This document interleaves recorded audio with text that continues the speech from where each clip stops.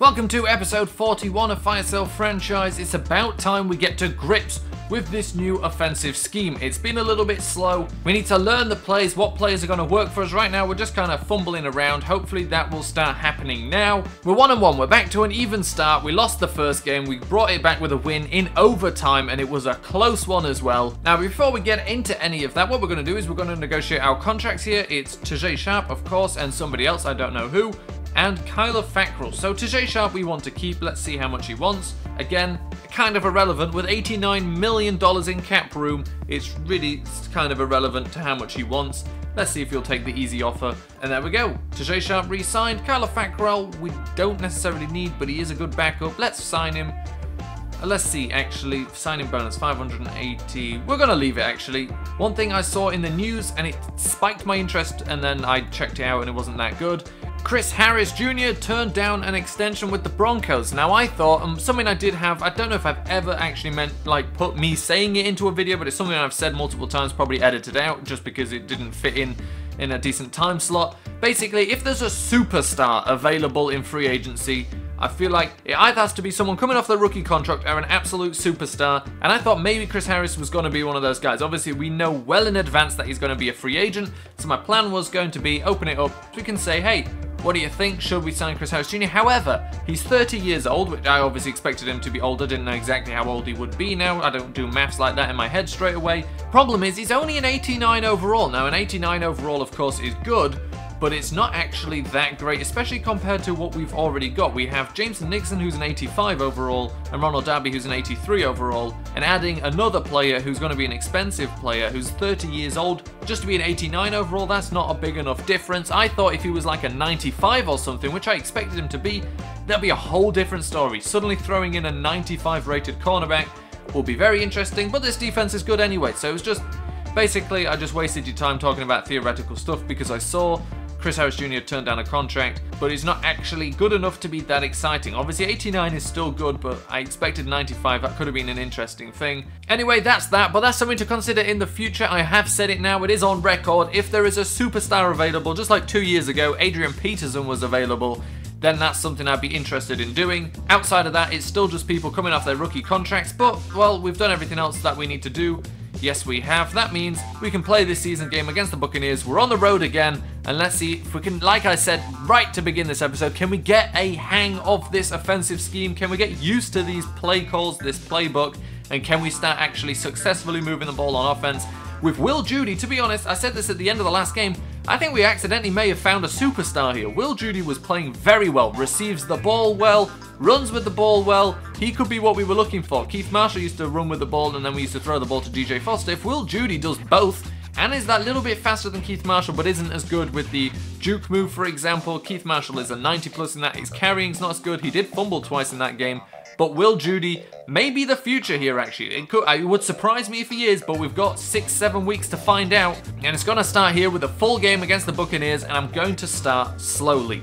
First downs will be running downs, second downs will be short passing downs, and then we should always be on third and short. If we can always have third and shorts, or very few third downs altogether, obviously that's the dream, I think this playbook will be perfect. Let's try and get to grips with it. We're stuck with it for a year. We can change it next year, but we're stuck with this playbook now. I made the decision. We hired the offensive coordinator, whoever it was. This is the playbook we've got. If we want to change that, you don't just fire your offensive coordinator like two weeks into the season you at least wait until like week 9 or something. No, but we're stuck with this for a year, and then next year maybe we can change it, but I have a feeling we're going to get used to this. We're going to enjoy some of the more out there play calls it's got to offer, and well, I've said it I think three times now, let's play this game against the Buccaneers. So on the very first play of the game, they go for a run, and Mario Edwards Jr. is there for the tag for a loss, and that puts him in third and 11 here. They go for a screen. All the linemen pretty much rush the quarterback, but right there at the first down marker, Christian Stuckey makes the tackle. Third and seven, we go for a screen. It's thrown slightly behind Malcolm Mitchell. He manages to turn it upfield, and we do actually pick up a first down here. So it's first and 10 on the 32. We run with Will Judy. He gets around the outside and picks up a nice gain there. First down from first and 10 with the rush. That's what we need. Third and 12. A pass out. I think that was to Sugars. Maybe it was literally thrown to the defensive back. That's what it looked like. And third and 9. That's Mario Edwards Jr. in with the forced fumble sack but unfortunately the lineman picks it up. But still, that's fourth and very long after the forced fumble. Mario Edwards Jr., what a great free agent acquisition at this point. Now the punt return, Marquise Goodwin turns it upfield, manages to get round the outside of this linebacker, gets tackled there, but right at what would have been their first down marker. So real good field position, first and 10 on the 32. A completion out there to Brandon Coleman. He picks up the first down. Offense is moving well. We run with Will Judy, and he picks up 10 there. Just stops short on the one yard line. First and goal. Quick throw out to Chance Sugars. He finishes it off with a touchdown, and we go up seven to nothing. That's what this offense is supposed to look like. Quick, small hits, good running game, and we get seven points. Third and seven. He had plenty of time there. No pass rush. Receiver makes some people miss, and they pick up a big first down when we had a chance to stop them. Third and 10. Jameis Winston rolls out, but Dion Jordan is there to stop him. Nice sack from Jordan. Good pressure from the defensive line. And third and 11 for us. That almost was a catch by Chance Sugars, but he couldn't make it in traffic. And then Doug Martin here makes a load of guys miss with tackles. The only guy that finally comes in, Derek Milner. He's playing well at the moment. Second and 10, James Winston finds his guy Sneed. It's a missed tackle by Darren Stanley, the last guy here, Dean Milner. And he, I don't know how he missed that. And he goes in for the touchdown. Darren Stanley probably shouldn't have gone for a strip there, but Dean Milner somehow just completely missed him. First and 10 here, we get sacked, so that's really not going well for us. Second and 17, the next play manages to throw it out to Chance Sugars, who makes the craziest catch in traffic with one hand. Third and 11, and well, we get hit again. They're getting some good pressure on us here, so first and 10 for the Buccaneers now. Jameis Winston with time in the pocket, plenty of time, and that should have been an interception by Christian Stuckey. It was close, but not close enough. And third and four, they complete for another first down. Third down conversion rate right now, very good. First and 10, cuts it upfield, is stopped at the final second by Ronald Darby. They have to settle for a field goal. And on second and nine, a nice pickup by Malcolm Mitchell, and it could have been so much more. He goes out of bounds. Second and 10, nice completion to Chance Sugars. He breaks the first tackle, gets further downfield. Chance Sugars just an complete beast at this point, but we did just end up having to settle for a field goal. But it's 10 even, and on third and 10 there, that's Ifo Ekpre-Olomu making the stop, giving us the ball back. Third and 11, a completion to Chance Sugars. He broke away from his man, and he's fast enough to get into the end zone without anybody catching him. Chance Sugars, the freak of nature, bigger than everybody else on the field, and he's pretty much faster than most of them, and he gets the touchdown. We're up 17 to 10. They run it with Doug Martin, and Derek Milner just puts him on the floor. Then Christian Stuckey puts him on the floor after that. I don't think it was actually Doug Martin that play, but we're big hit city right now, and then they do complete on third and 15. I'm telling you, third down is the Buccaneers down right now. However, on third and 10, they go for a draw play. We stop them. They settle for another field goal, 17 to 13, and Will Judy with another nice run there. He can go up the middle, he can go on the outsides. Will Judy gets it done. Third and 13. A defensive holding call gives us the first down, but we don't do anything with it, so it's still 17 to 13. The Buccaneers trying to get downfield before the clock runs out, and we manage to tackle them inbounds here. Third and six now, but this time it's intercepted by D. Mill, and Milner. Third down is the Buccaneers down no more. We take the ball away from them right at the end of the game. D. Milner with the interception seals the win there. Great play, stole it away from the receiver, and on third and eight, we need a first down here just to be able to run the clock out with knees, and that's exactly what we do. Now that was a million times better. It was actually a surprisingly low scoring game, 17 to 13. We did mess up a field goal right at the end, so it could have been 20 to 13. Still slightly low scoring, but we were clinical this time. Lance Sitton 210 yards, 70% completion percentage, two touchdowns. Look at that, no interceptions. That's the first time we've seen a zero there all season. It took us three weeks. Rushing, Will Judy, 80 yards off 21 carries, which actually isn't a crazy average, but it's 80 yards. It was well done. Everybody else didn't average quite as well there. But Will Judy, a true good running back there, receiving wise. Chance Sugars has become the centerpiece, undoubtedly the centerpiece of this offense. Six catches, 165 yards, and two touchdowns. Obviously helped by a 90 yard touchdown catch and run. Nobody else really did that much which is a shame. I'm obviously going to try and get everybody else more involved. I don't just want to have them, you know, be the supporting cast of Sugars. We want a nice rounded attack where everybody is getting involved. Defensively, Christian Stuckey continues his tirade of tackles. Nine tackles, that's 29 tackles in three weeks. He's going to end up with like 160 at this rate which I think would be enough if he gets himself some sacks and other things as well to actually win Defensive Player of the Year. I'm not sure about that. But obviously it would be nice if he misses out on Defensive Rookie of the Year if he gets Defensive Player of the Year the next year. I, I don't know. Right now he is doing the right things towards it. Obviously not as much in terms of sacks, interceptions, forced fumbles yet but with the pure tackles, and that's what it seems to be about for Defensive Rookie of the Year anyway, he's certainly up there. Sacks, we had a couple more this week. One from Dion Jordan, a strip sack from Mario Edwards Jr., turning out to be a nice pickup there. I think he's got two sacks so far this season already. Interception, one from D. Milliner. He just absolutely stole that one away. I didn't even, I was surprised to see we got an interception there, but he just got in front of the receiver. The one forced fumble from Mario Edwards Jr. We are taking the ball away from the other team. Forced fumbles, interceptions. We probably have more interceptions and forced fumbles than we had like the first entire eight weeks of the previous season. This defense, it, I realized why it's getting looking like it's soft over the top. I have completely solved that issue.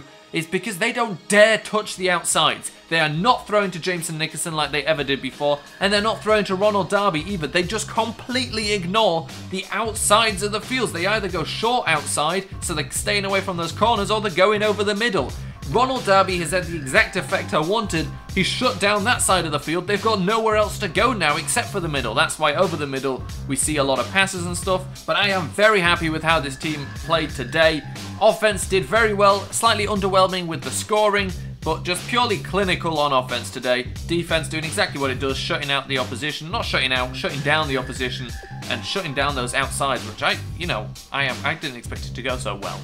Shout out to Madden for still half crashing every now and then after I finish a game. Luckily though, we saved the progress, so it's all good. The one new injury, Kevin Pierre-Louis, broken collarbone, eight weeks without our leading man, Kevin Pierre-Louis. Luckily, we have Stucky Do there in the middle that's taken over a leadership role, and luckily we have Eric Nickerson who can slide over to that right outside linebacker spot. So what I will do there is I will move Eric Nickerson over to Kyler Fackrell's spot. Fackrell as a left outside linebacker can go back that side. And what will happen is that Stucky and Nickerson will be playing together most of the time, which I'm actually quite happy about because it means Nickerson will be playing like 99% of snaps, whereas at left outside linebacker, anytime we go into a nickel package, it's him who's off the field. So now for eight weeks, Nickerson will be there all the time. This will really help him with his Defensive Rookie of the Year campaign, which he started very strongly in week one.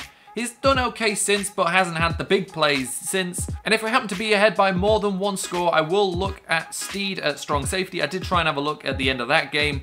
Obviously didn't see too much from him, but I'm going to try and put him in when it doesn't really matter, see how he does, because he's a little bit faster than Milner. He's a big hitter, and I'm interested to see how he does. So here we are, week four. We're going to play the Texans, who have got really a quite impressive record here of 0-2 and a draw. Also, Derek Milner's contract is up for renewal. Something I've been forgetting to do, but it's our divisional rivals. We know how their teams look outside of a few players. So uh, I'll move past that, but something I've been forgetting to do is look at the teams that we're playing. From now on, just going to look if they've got any rookies starting or any big name free agents, because at this point I've lost track of who should be on what team in terms of who was there last year. So any rookies starting or big name free agents I'll point out, if not we won't bother talking about it. So the Texans have rookie quarterback Quan Doolittle starting at quarterback. I think I've said quarterback twice there. Um, he's looking okay. Accuracy is not crazy. His throw power is really good though. An 82 overall. They have Kyle Rudolph at tight end.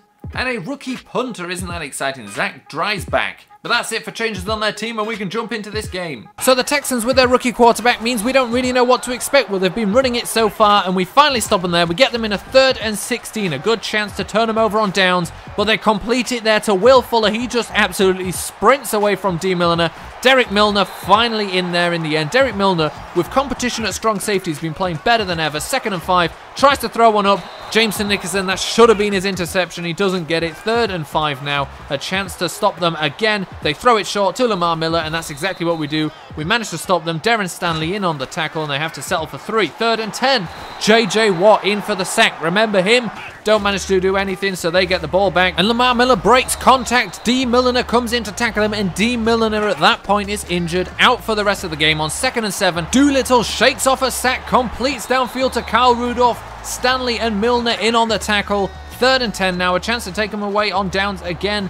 Can we do it? We didn't manage to do it the last time, and it's there. Completed short. Derek Milner in for the stop. So again, they settle for another field goal. Six points. We've got none, but Tajae Sharpe Nice play there. So we finally, I think that's our first first down of the game. It may well be second and 10. Completion again to Tajae Sharpe. He's turning into the go-to guy this game within a few plays. First and 10. And we've, well, no, we've done it again. We literally threw a interception, a pick six on a screen. It was a different kind of screen, but we did that, I think, in the first game. We've done it again in the fourth game. That's twice now on screens. We've thrown interceptions. I think we need to rethink that play a little bit. And Lamar Miller here gets around the outside. The only guy that can catch him is Jameson Nicholson. No surprise there. Jameson Nicholson does his job, but he shouldn't have picked up that many yards before Nicholson finally tackled him. First and 10. I swear Doolittle is the most elusive quarterback we've ever seen. David Onyemata finally gets him there at the end. Now third and 14, and he doesn't escape Eric Nicholson. Eric Nicholson in for the sack. Fourth and 22, and they had to settle for another field goal, 13 to nothing. Brandon Coleman, though, picks up a first down, so at least we're getting some of those. Will Judy with the run. Nice play there. Avoids some more guys, gets around, and then comes the flag. Will Judy with an amazing run. All credit to Will Judy, but it gets taken away on a block in the back by Malcolm Mitchell. So second and 10, we're looking to make up for Will Judy's lost touchdown here. And it's a nice run from Sitton. He managed to get the defenders to pull down so he could pick up the first down. And on second and three, throws it over the head of the defensive back to Malcolm Mitchell. So Malcolm Mitchell gets that touchdown he took away from Will Judy, but Will Judy himself is still a touchdown short, even if the team is now even again. So 13 to 7, and coming in again with the pressure, and again just completely misses him. And that should have been an interception instead, it's a touchdown. That's embarrassing. Will Fuller with the touchdown. That is completely our fault. I can't believe that. It is embarrassing. Third and 13. A completion. Well, to who else? It's Tajae Sharpe this week. Just imagine it's Tajae Sharpe every time you see somebody catch the ball because that's pretty much the case. Rolling out to the right. Sitton again. Throws it downfield just to try and get something here at the end. It's an interception. It looks bad on the score sheet. It's completely inconsequential, though, to the game. It was right at the end of the game. Nothing happened from it. And now Sitton running again. Sitton pretty much the rushing leader. I say pretty much. He is the rushing leader at this point. 44 yards. A nice pickup on that one. Second and 10, dropping down to pass. Rolls out right again. Is he going to go for it again? Yes, he is. He's completely out of energy, though, but still manages to pick up the first down before being tackled. And on fourth and 10, we have to settle for a field goal. And we're now half of what Houston have. 20 to 10 the score in the third half. Third quarter, rather. Five minutes left, and we get Lamar Miller there. Tackle for a loss. Derek Milner was in on it. Eric Nicholson, Ifo Ekpre-Olomu, the whole gang. So first and 10, we have a chance here to narrow this lead. A completion too. Well, it's Tajae Sharpe. You guessed right. If you were guessing, he gets to the 16-yard line. Tajae Sharpe puts us in the red zone, so we got a chance here now to score. We go for the play action fake, running out to the right. Can he find somebody? Mobo opens up on the sideline. Completion for a first down. First and goal on the four. A run with Will Judy to the outside. Gets outside. It was a good block from his teammate. I couldn't see exactly who it was, but Will Judy finally gets his rushing touchdown that he should have had a long time ago. So it's 17 to 20 now. A close game. There's only one field goal in it, and we're in the fourth quarter. 10 minutes, third and 10. Sitton had absolutely no time. I think it was Benardrick McKinney and JJ Watt in on that, so two good players. First and 10, they run to the outside. They've been killing us with these. Willamar Miller. Derek Milner manages to force him out of bounds. Although, to be fair, he kind of went out of bounds himself. And on second and 10, it's a completion to Kyle Rudolph. They're into the end zone. And all of a sudden, when it was only three points, it's 10 again.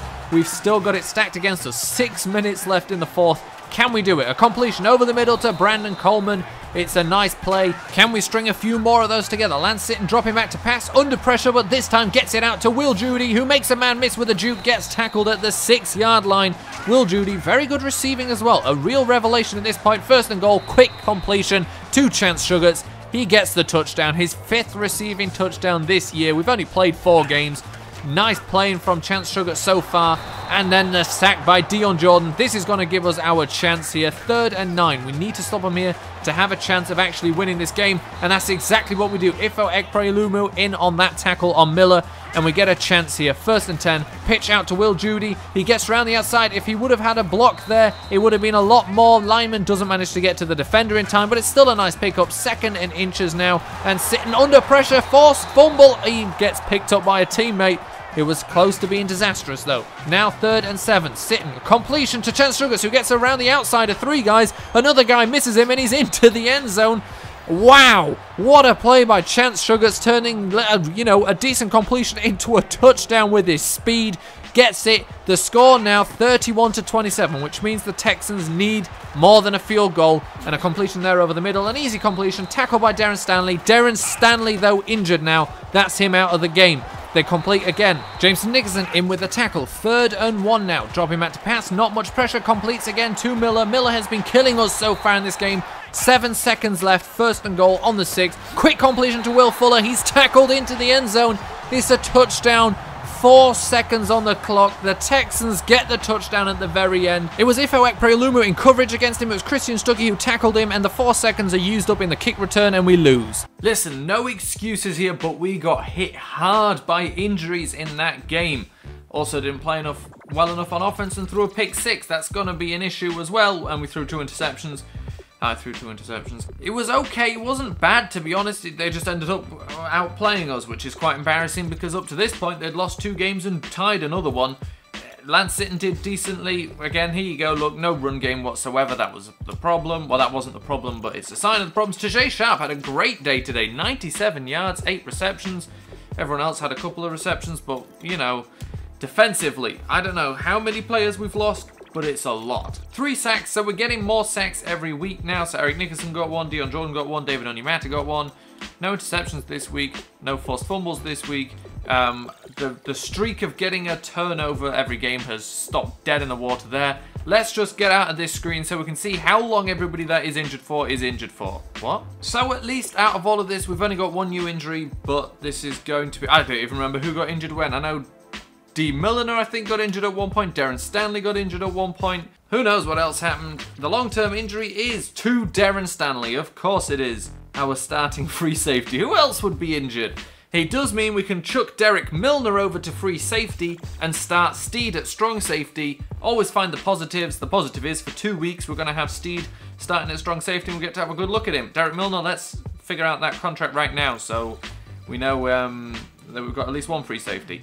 Yeah, it's the right length, but the financial side needs some work. Get out of here, Derek. Although we'll, we'll, we'll work on the financial side, sorry, sir. Anyway, that is it for this week. I'm stopping it here rather than going and advancing a week, because then I can just quickly scout these college players without having to do that before finally saying this outro. But painfully, we lose to the Texans. Stupidly, we've got to be more careful on those screens, those quick little screens. I keep chucking pick sixes there. If we keep doing that all season, it's not going to be a good look but the defense is struggling in terms of players and the players they're losing. If we lose a, a cornerback or a defensive lineman for any length, we've lost pretty much a player out of every single worthwhile group on defense. Not pretty much, literally, that's what it would be. Still, we get to have a look at Steed for two weeks, so, you know, there's a positive.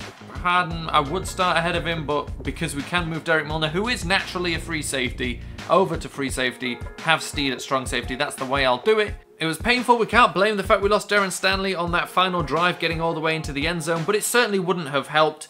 Uh, next week we've got to win two games, otherwise we're going to end up going 8 and 8 and only making the playoffs if our division is doing terribly, and that's just not the case right now.